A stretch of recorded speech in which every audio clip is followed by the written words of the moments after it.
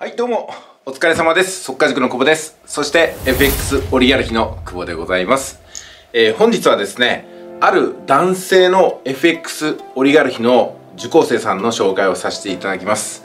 いやね、苦節何年ということはないですけども、非常にね、まあ、嬉しい連絡をいただきました。ところで皆さん、この夏はいかがでしたか？何か大きな成果ありましたか？まだ暑い日が続く。その中でもう10月を迎えようとしてるんですけどもせっかく季節が変わるわけですからね。この夏はこれをやったぞとかね、えー今年はこれを達成したぞみたいなものがあるといいかなと。そういうことを振り返るようなそんな季節になってまいりました。今年もあと3ヶ月ぐらいになりましたね。はい私のことなんですけども10月1日東京に行きます。まあその理由は皆さんご存知だと思いますけどもはい私なりに挑戦をこの1年積み重ねてまいりました。決して暇だったわけではありません。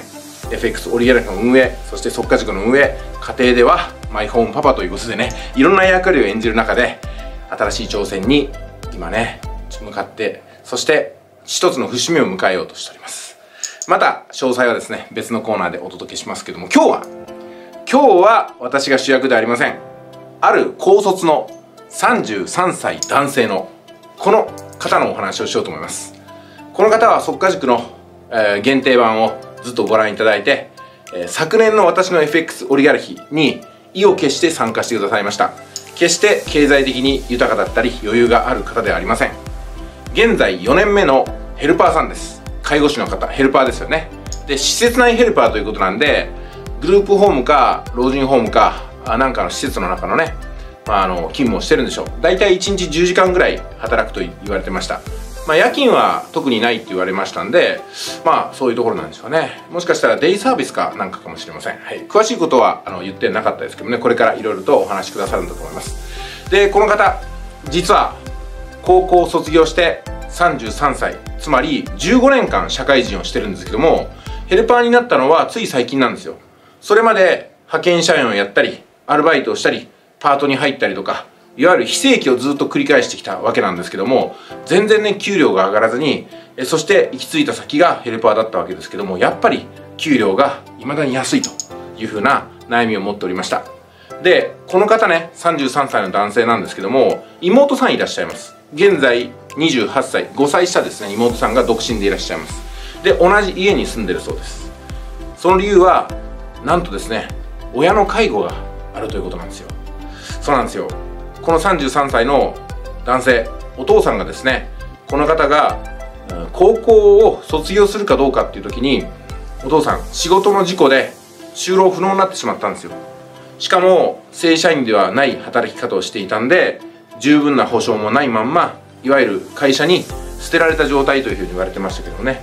事故をして働くことが不能になったら本当に二足三門の保証金だけでポイッと会社を放り出されて以来自宅の中でベッドの上もしくは家の中を歩くのがやっとという暮らしをしているそうです。だもんですから28歳の妹さんとこの33歳のね、えー男性2人でこのお父さんを支えているそうです。お母さんについてはまだ話されたことがないんでいるかいないか分かりません。これはまた少しずつ分かってくることだと思います。まあそういう形でね決して楽ではない。えそしてもしかしたらですけども妹さん介護になってしまったお父さんの世話を見る上で根拠を逃してしまったんではないかなと察するところもあります。まあ妹さんに関しましては直接は分かりませんけどもね。今こういう状況です。で借金もあるというふうに言われてました。いろいろ告白をいただいたのは昨年の私の FX オリガルヒの第1期生の募集の時です。ですんで6月ですよね。こんな自分でも FX 取り組めるでしょうかと。投資なんてやったことありません。お金もたくさんありません。でも FX オリガルヒ久保さんの発信を見ていたらこの FX ってのはものすごく可能性があるんじゃないかなっていうふうに思うようになりましたと言われてました。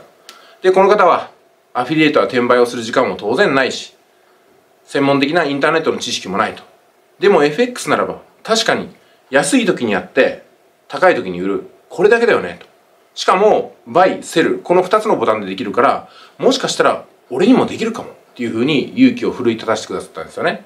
そして重ねる面談が繰り返されました意を決して FX オリガルヒに参加されました当時29万8000円特典付きというね最もいいコースでしたまあ今はそんな低価格では出してないんですけどねで、この方は手取り14万円で借金がありましたんで、借金に対しては毎月1万円返済してたらしいんですよね。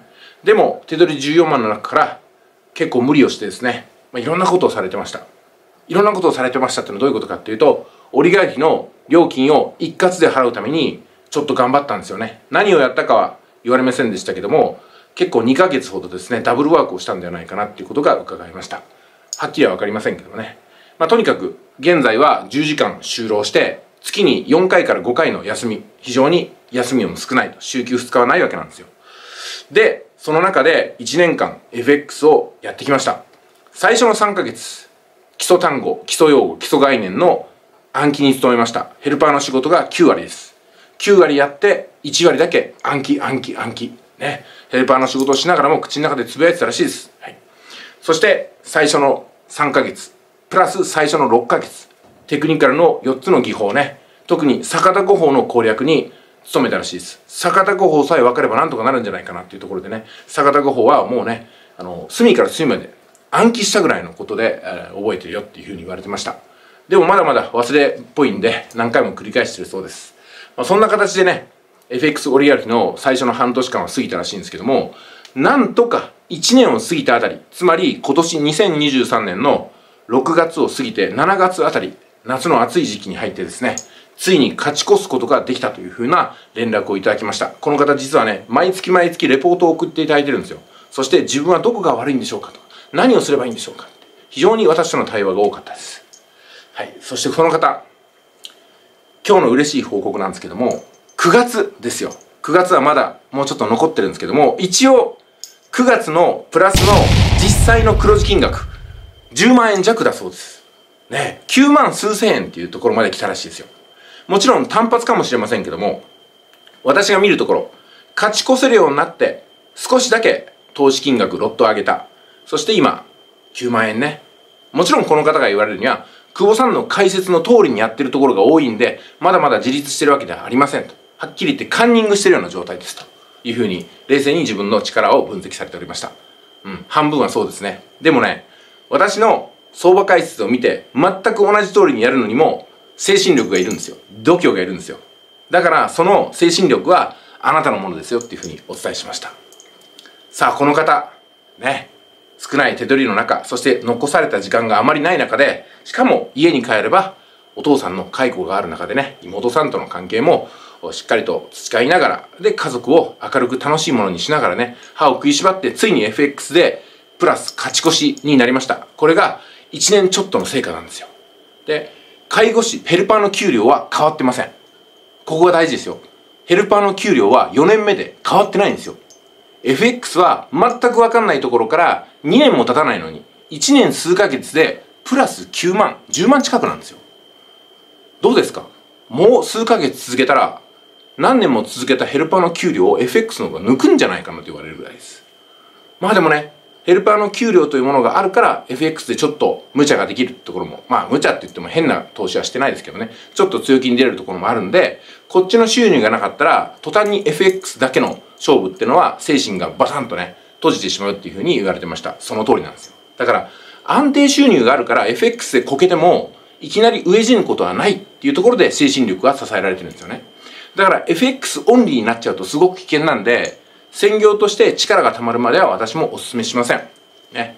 FX で専業ってことはどういうことかっていうと、まあお金のことで言えばね、大体口座に、FX の取引口座に100万、1回のトレードに1万、この割合です。1%ね。そうすると、だいたい100万が毎月120万とか、130万、140万っていう形で増やしながら、月末には利益だけ引っこ抜いて、また月初に100万残すみたいなことを繰り返していける。つまり、年間で総投資金額1200万、そして総利益額を700万前後にできるっていう計算なんですよ。